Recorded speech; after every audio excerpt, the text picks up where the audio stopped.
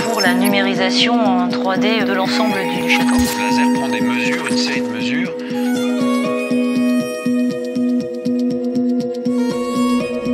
Cette application, nous l'avons voulu pour une raison simple, c'est que le château de Nogent, c'est un exemple d'architecture médiévale exceptionnel. C'est un site euh, impressionnant et très très bien conservé, mais le donjon est resté en ruine depuis euh, la guerre de Cent Ans et la bataille qui ont livré euh, les Anglais. Et les appartements seigneuriaux, ceux des princes de Bourbon de Condé et du duc de Sully, ont été vidés dès avant la Révolution.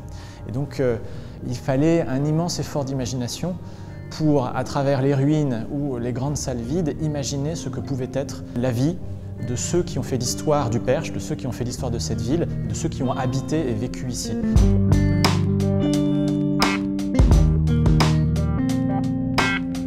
Un projet tel que celui de Nogent nécessitait la collaboration de toutes les équipes, le personnel du château, le comité scientifique composé d'historiens et les équipes chez nous d'infographistes 3D qui ont aussi euh, des compétences en histoire, histoire de l'art. L'application de Nogent-le-Rotrou englobe toute une série de contenus dont le cœur sont les reconstitutions 3D, qui permettent d'accéder à des contenus un peu plus spécifiques, comme des animations d'engins de siège au Moyen Âge, et par exemple à la numérisation d'une sculpture qui est exposée à la ville de Nogent.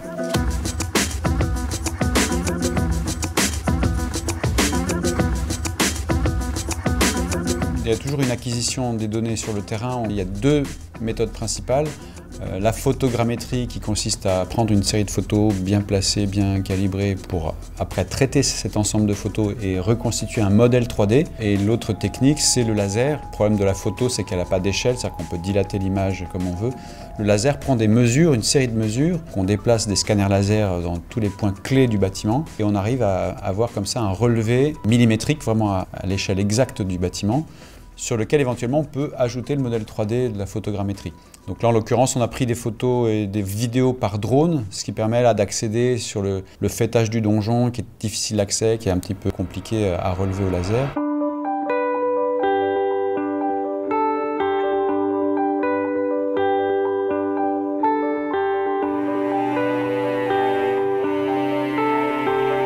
Je récupère le nuage de points qui a été créé par Cyril et donc en l'intégrant dans mon logiciel 3D, je peux modéliser euh, le château tel qu'il est aujourd'hui, de façon à ce qu'on ait une base de travail avec le comité de pilotage à Nogent-le-Rotrou, qui nous permettra, ben, euh, avec les échanges qu'on a avec eux, de restituer le château à diverses époques de son passé. Nous avons fait également quelques recherches en interne, euh, donc de façon à obtenir une restitution 3D qui soit la, plus fiable possible, la plus juste possible, de façon donc à proposer aux visiteurs une immersion dans le passé du château de Nogent-le-Rotrou au travers de casques de réalité virtuelle ou de tablettes.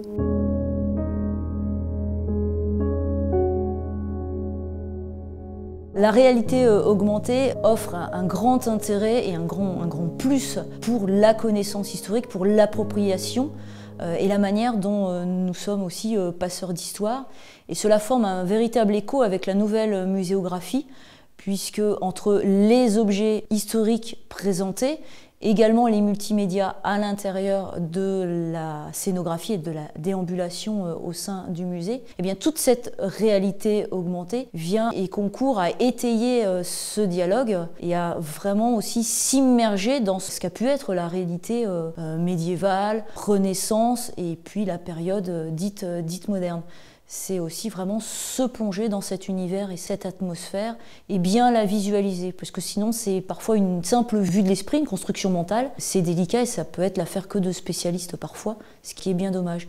Donc là, on a vraiment le sentiment que c'est euh, passeur d'histoire pour, euh, pour tous et et de vivre et d'avoir un peu d'émotion aussi.